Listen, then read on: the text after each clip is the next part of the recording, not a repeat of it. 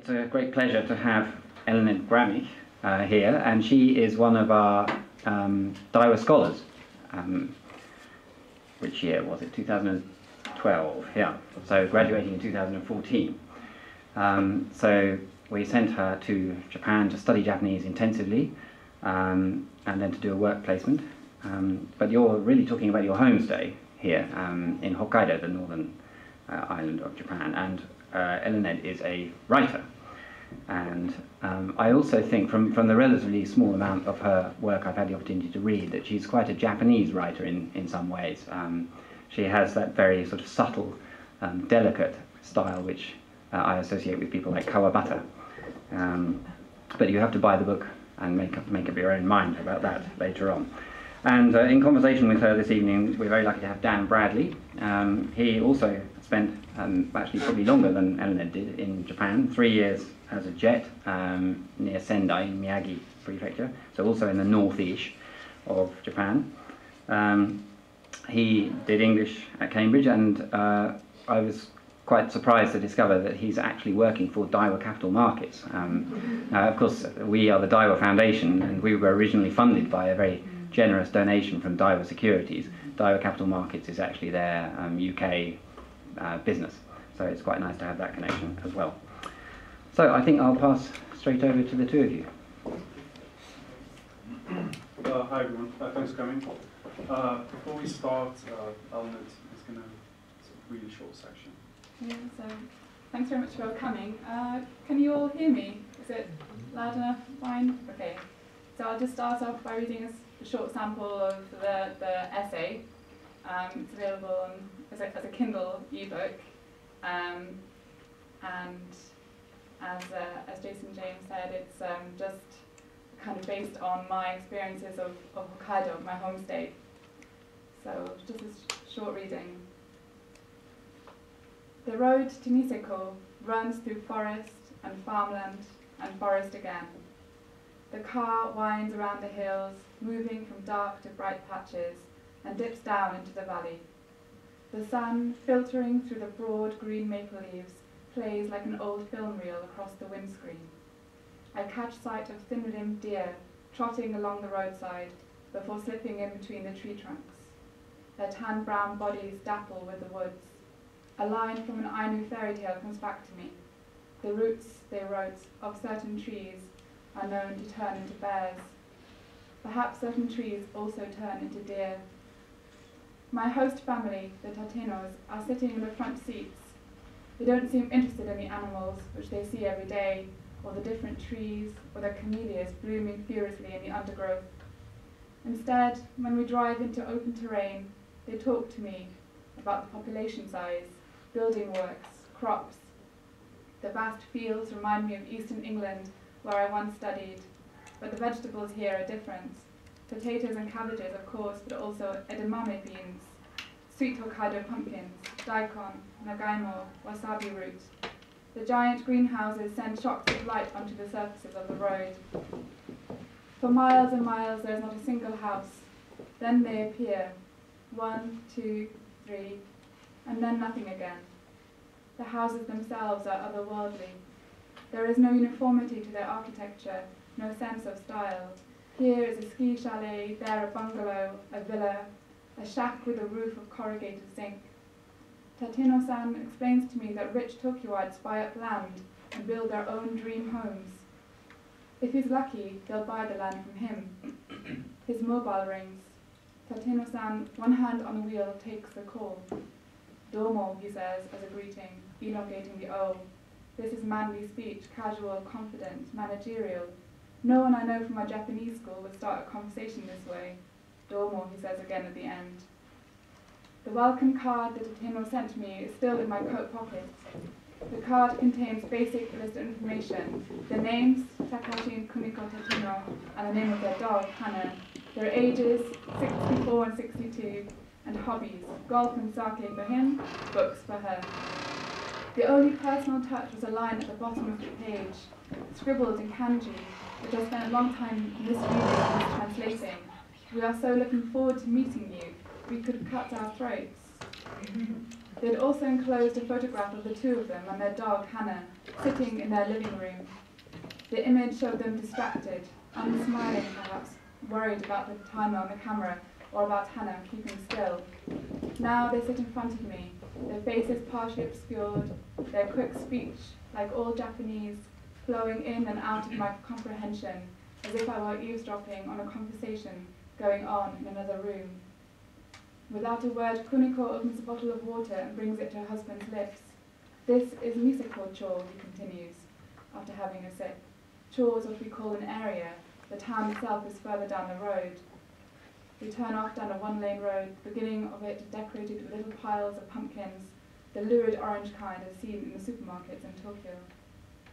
We pass two small farmhouses, a dog, a Hokkaidan hound, barks wildly after us. We dip into another pocket of woodland and suddenly the world is muffled by the pines, maples, and conifers. When we come out the other side, I see suddenly an extraordinary form erupting from the farmland in front of us, a shape so startling that I'm at a loss as to what to say. The timid repetition of the word kirei, or beautiful, won't suffice. A mountain floating in the air, its outline hazy in the pale sky. What is that, I ask. Yotei-san, Kuniko replies, Hokkaido's Mount Fuji. Thank you very much.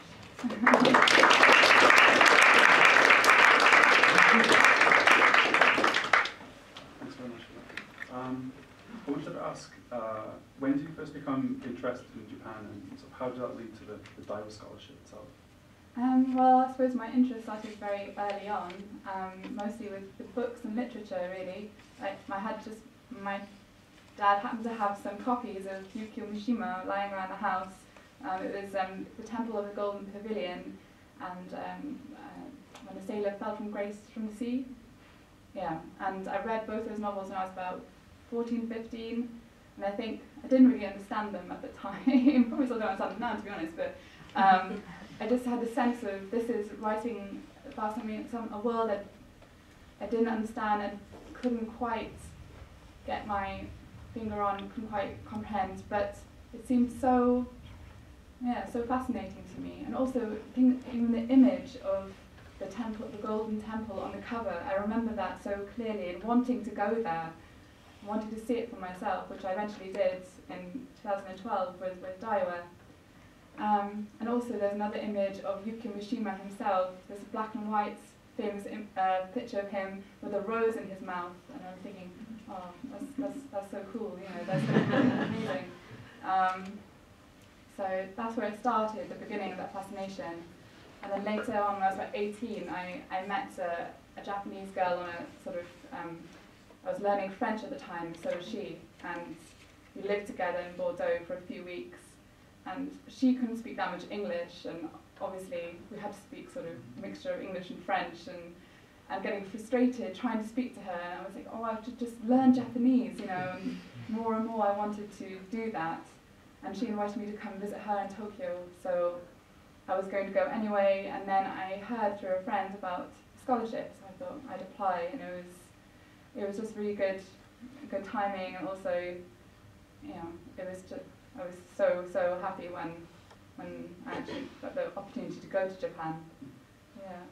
Okay, um, I understand that you, you spent about 18, 19 months in Japan in total, right. uh, in Tokyo as well as uh, the homestay in Hokkaido. Um, like how, how do you compare those two experiences and then how did that lead to the essay itself? Um, yeah, well, I lived, I, the beginning of the scholarship is, is one year of intensive language learning in Tokyo, and, um, and then it was one month in homestay in Hokkaido, and they were totally different worlds um, apart, really. Um, Tokyo was obviously a metropolitan centre, very, very busy, and also my experiences there, the language school, it was, I was surrounded by people from obviously the UK, but from Korea, from Taiwan, from Germany, and it was very much as a as a kind of an observer at, um, looking at the city around us, going together on tourist trips and not quite feeling that you're part of the society. But going to Hokkaido, that was a slight shift then because I was the only you know Westerner in that in that town in Niseko, And um, I lived with a homestay family. I got to practice some Japanese, and through you know improving the language, I could understand more what was going on around me.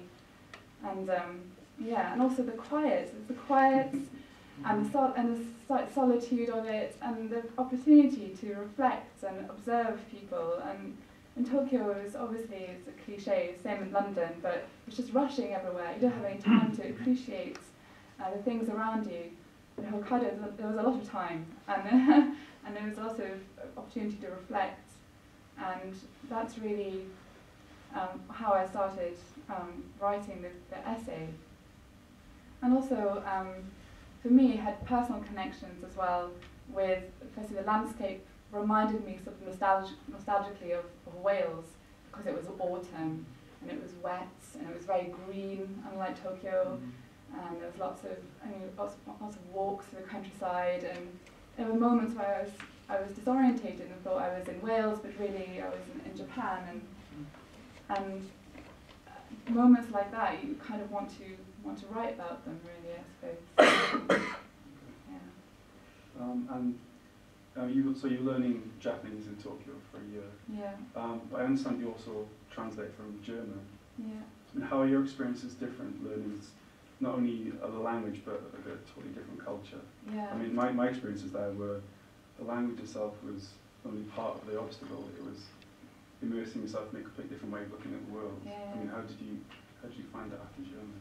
Um, yeah, it was it's very very different, but I suppose learning Japanese is um, yeah. The first three months I was learning Japanese, it was like I just couldn't understand it at all. It was completely completely um, couldn't get my head around it. It was like a language that floats on its own without any connections to German or Welsh or French at school or Latin, and I it was almost kind of a, a kind of a logical puzzle I couldn't quite fit together, you know. And then after about three months, people talked about it often, the kind of eureka moment, where suddenly everything starts falling into place. Mm-hmm. You're beginning to understand more people are saying, and it makes sense the way it works with language.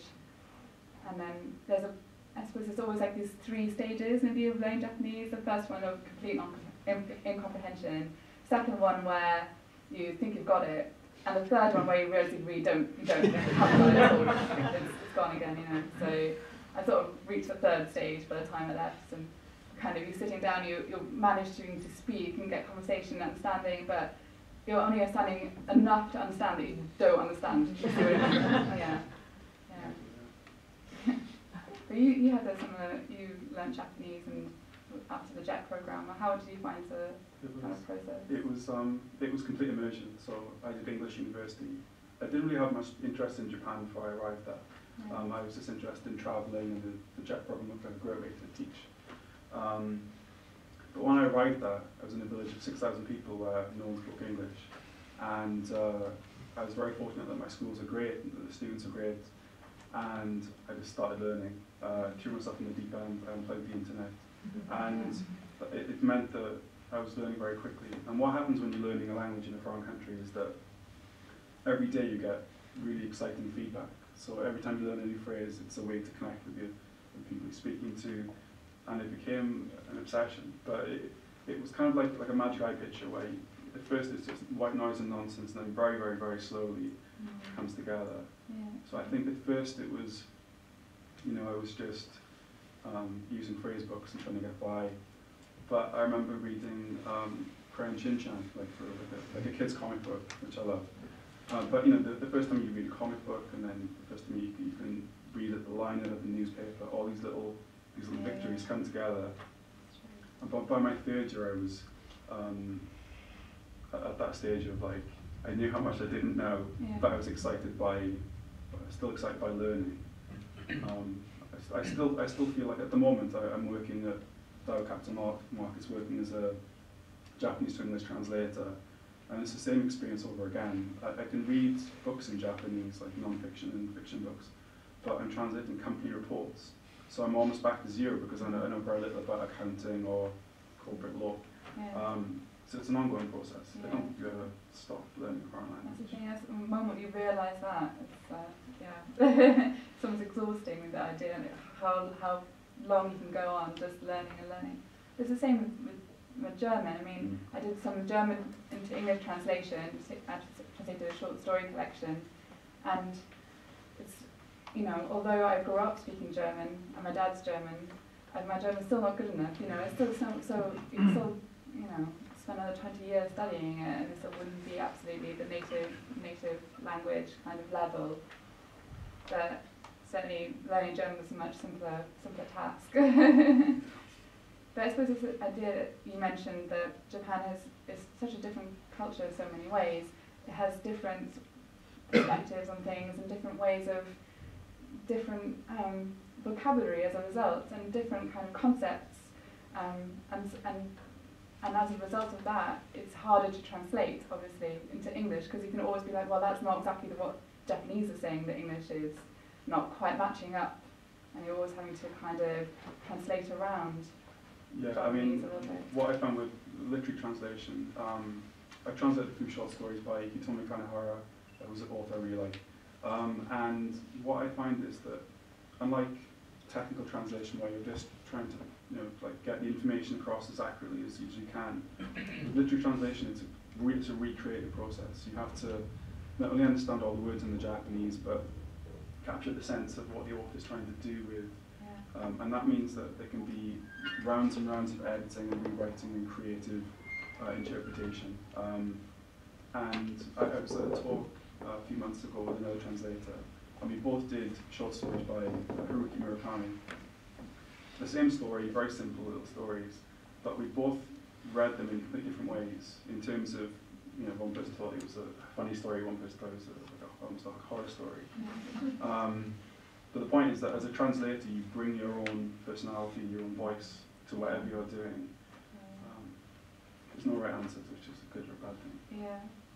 I guess the German is more sense of you have to be very precise. I mean, because there's such similar languages, you can be very specific and get exactly the right sense in German or English as you would do in the original language.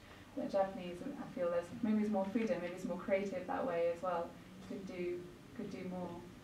Yeah, I mean, I feel like when I'm when I'm reading Japanese, it's a very different feeling to reading English because obviously my Japanese is, is nowhere near as good as my English. But it, I think there's so much space between the words in in, in the sense of um, yeah, I, I, feel like the text has more more space to breathe. Yeah. Um, which makes it does make it harder to translate it, but it's kind of a more enjoyable reading experience for me. I think. Yeah.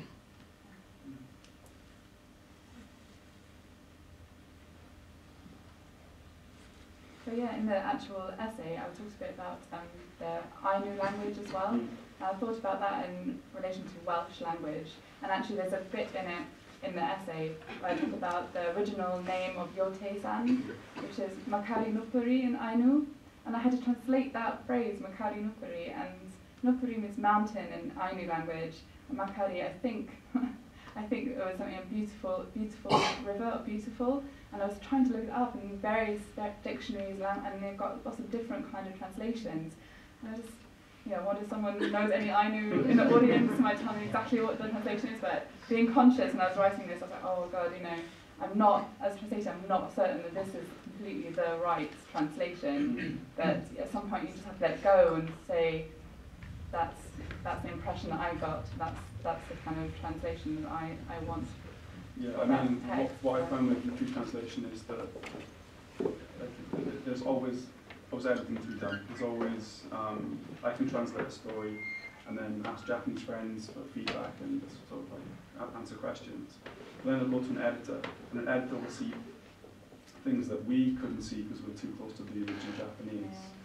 Um, and what you find is that you have to sort of, yeah, you come to a stage where you have to accept that, you know, when you got your interpretation, and there's definitely people who are going to disagree yeah, with that. that's right, yeah. yeah.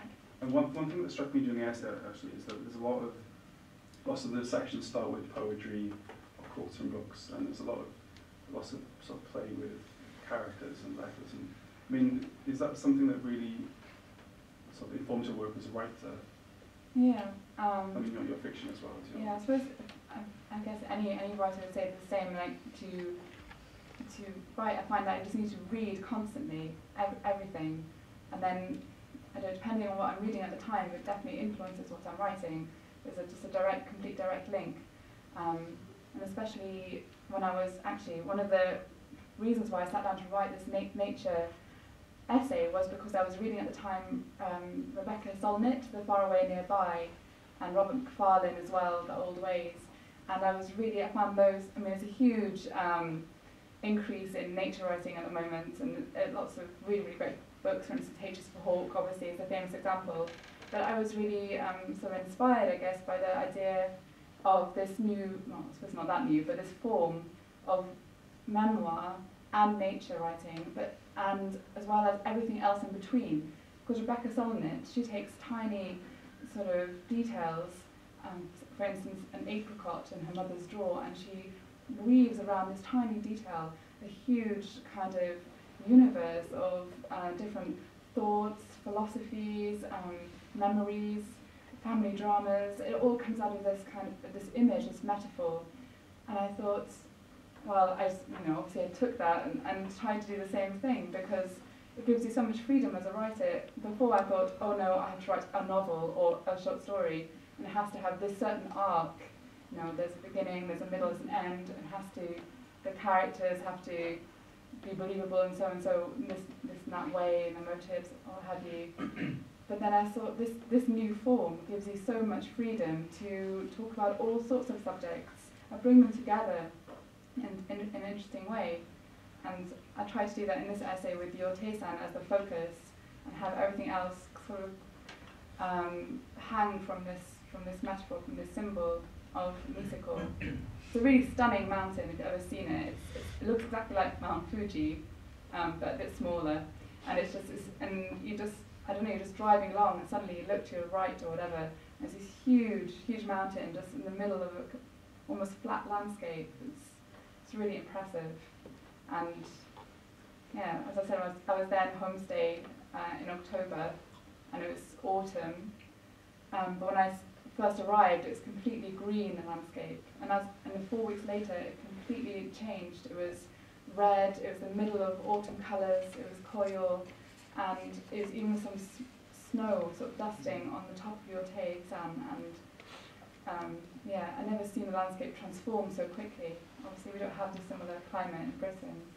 And I was struck, struck by that. Yeah. Uh, there was there was one there was one quote actually uh, to do with, to do with nature where uh, you said that you're reading The Secret Garden while you were there, and you mentioned this idea of nature sort of improving and changing you. Yeah. I mean, was that something you experienced while you were there?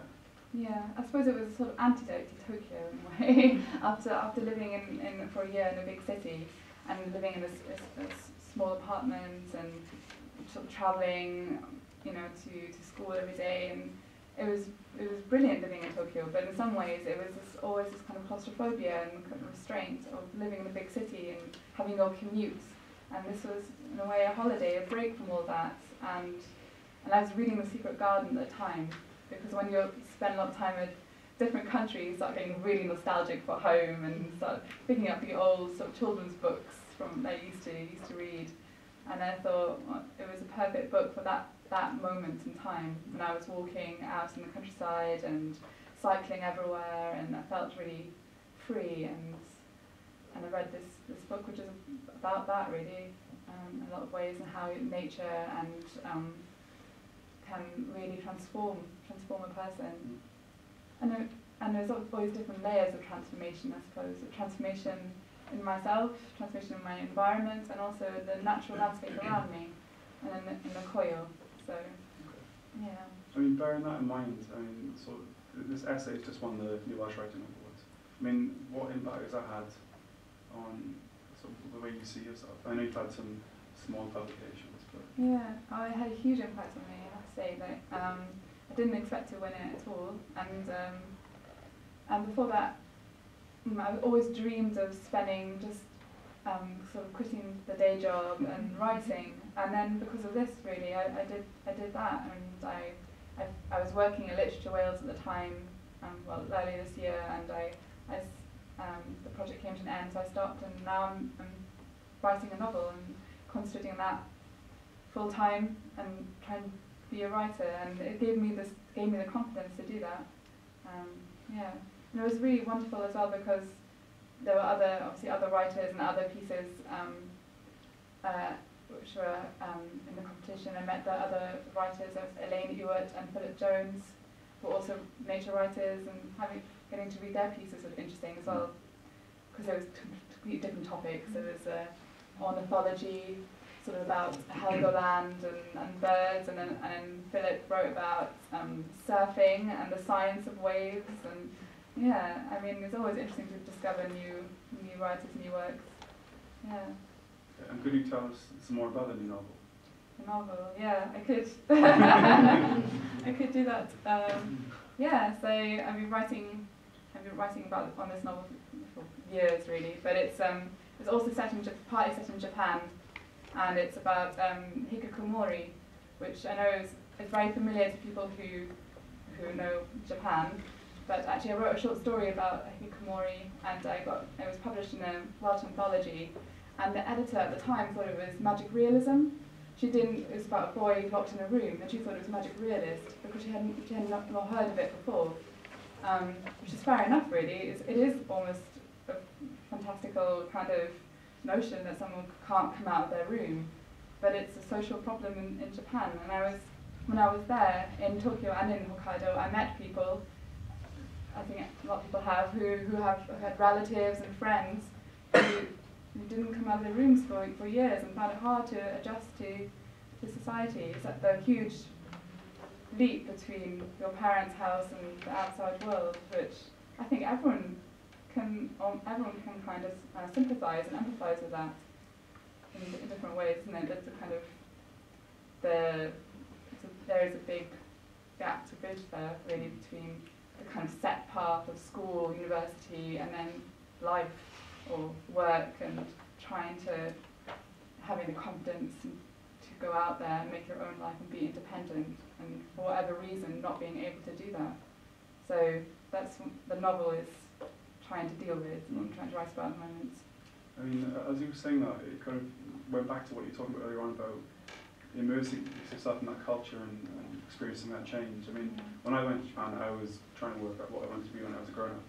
And teaching English in Japan was a nice way to sort of travel and see different things. But being in a small village where everyone was an important part of, of every event and every, every sort of thing that happened, I kind of realised how sort of self-centered, in, in some ways, the, the sort of life I'd led before was. Uh, and it was so different to be sort of in, in this in this sort of environment where it's very important to to contribute.